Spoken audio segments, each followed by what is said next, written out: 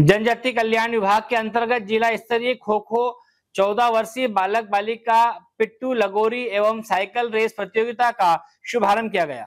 खिलाड़ियों से परिचय प्राप्त व टास्क कर भारतीय पत्रकार संघ प्रदेश उपाध्यक्ष संजय जायसवाल द्वारा शुभारंभ किया गया। इस अवसर पर पत्रकार जितेंद्र अग्रवाल, शिक्षक जी एन दवाने, भास्कर पाटिल व महेंद्र यादव सहित सेगांव, केली, नागझिरी उमर खली के खिलाड़ी मौजूद थे। प्रतियोगिता का आयोजन विकास खंड की सीएम राइस बालक प्राथमिक विद्यालय मैदान में किया जा रहा है। सेगावा से संजय जायसवाल की रिपोर्ट। हेलो फ्रेंड्स आप देख रहे हैं हमारा channel S W twenty four news हमारे सारे वीडियो सबसे पहले देखने के लिए आप हमारे चैनल को सब्सक्राइब करें और पास में लगे बेल आइकन को दबाना बिल्कुल भी ना भूलें।